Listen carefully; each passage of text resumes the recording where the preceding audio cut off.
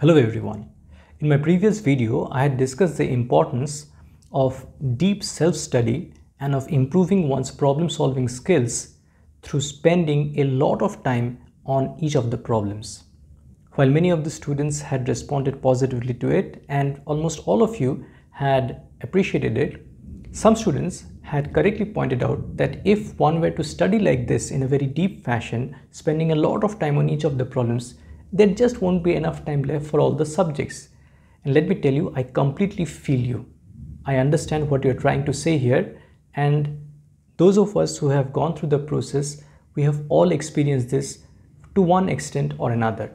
So in this video, I thought it will be a good idea to clarify some of the concepts that I uh, that I had mentioned about and also to discuss a few strategies and the new and the special attitude that you need to have if you have to study in this fashion.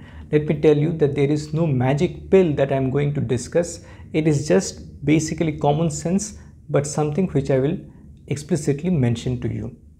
So the first thing is that we should be very clear about what we mean by deep self-study. So what is meant is that you do not spend, that we do not spend our whole time studying the theory. That is not deep self-study. Rather, we should study uh, as fast as possible the theory and as quickly as possible go to solving the problems.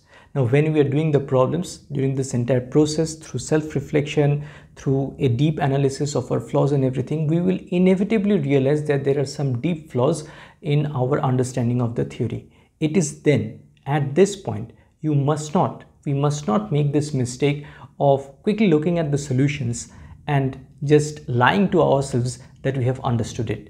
This would be a very, very big mistake.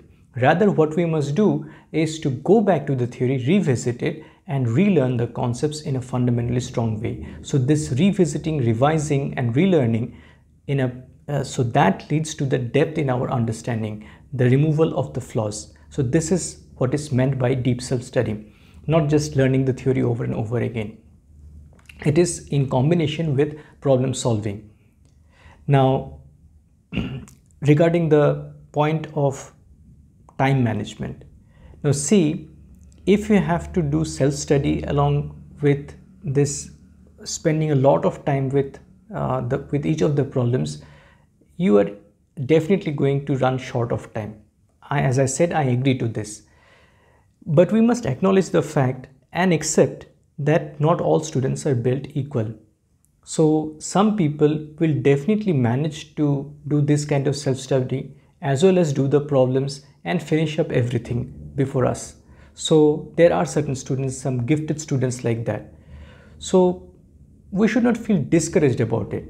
Okay, so these are some natural differences in our intellectual abilities which we have to live with Plus, there is also the fact that many students, because of some proper guidance from their childhood or because of self-realization, whatever may be the reason, they perhaps started this journey of self-study, deep self-study a little bit earlier than us.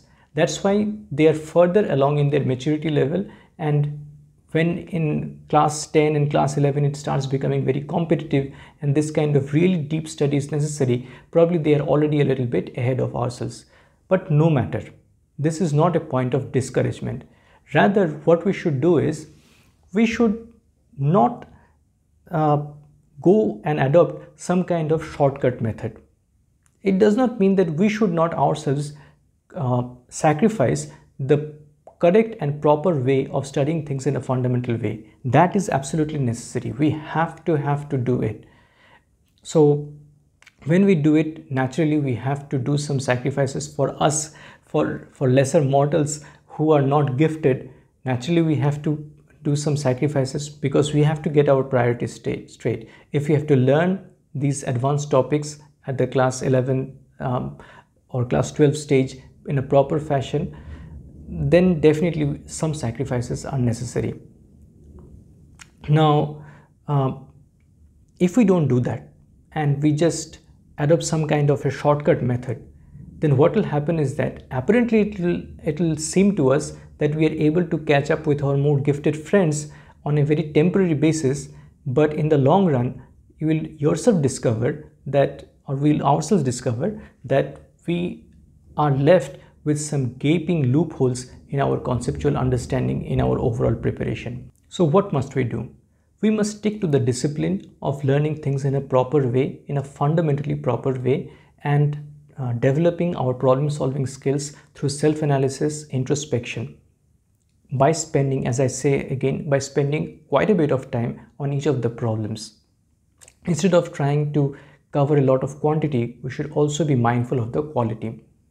Now, uh, as we keep on doing this, for the first few chapters, it may seem to us that we have started to lag behind many of our friends or perhaps in comparison to what the teacher also is teaching in class. No matter, let it be so, stick to your guts. Okay, we have to stick to, your, to our guts and we have to realize, and this is where our attitude is very, very important. And this is like the heart and soul of this, of the message of this video, is that in the initial few chapters, we may feel like that we are lagging behind but it keeps getting easier and easier. As we uh, as we keep on sticking to this proper method of studying uh, our brains will start improving. Our way or our ability to, to study in a proper way will keep on improving. And in some of the later chapters we'll start to see the dividends of it. We'll start to get the payback from our proper study methods. So in the first few chapters life is going to be difficult.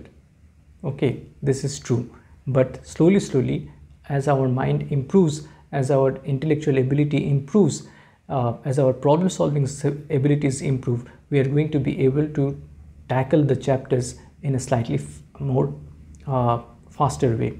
And the good news is that the more chapters you cover in this kind of a fundamentally proper way the more background knowledge the deep background knowledge uh, will develop in your brain and this deep background knowledge will tremendously boost your preparation and your study of the later chapters. So the first few chapters, the, the, the knowledge, the basic knowledge that develops, that will tremendously boost your preparation for the later chapters. This is especially true in physics and to a large extent even in mathematics. And certainly in chemistry also it is important, but chemistry is slightly a bit different. Um, which in some of the topics are more information heavy, but it is especially true in physics and mathematics. Now, as opposed to this, if some of your friends are adopting some kind of shortcut methods, maybe they are getting ahead of you, but try to realize one very important, very simple thing. See, for each and every topic, if there are some shortcut methods, initially it may seem that okay, you are learning the shortcut methods and you are able to do some of the problems in a fast manner maybe cover more a lot of ground uh, in a fast way. But as the number of chapters keeps on increasing and remember that the plus 2 syllabus is quite huge considering physics chemistry and mathematics how many shortcuts can you remember? It becomes way too heavy to remember so many different shortcuts for different different topics. Rather instead of that if you are learning things in a very fundamental way, the number of fundamental concepts is not that high. So if you learn free body diagram in physics properly, it helps you in each and every chapter. You don't have to learn any shortcut method. The, the knowledge itself is the shortcut for you. Please try to remember this. Even now on a daily basis, especially in mechanical engineering that I am now in, the, the ability to draw free body diagrams which I had developed back in my class 11 that has stood me in good stead even now on a daily basis. And this would be true in other uh, on other topics in other abilities also. So finally what i want to say to you is that please please do not compare yourself with others. Your only motivation is to improve your own self.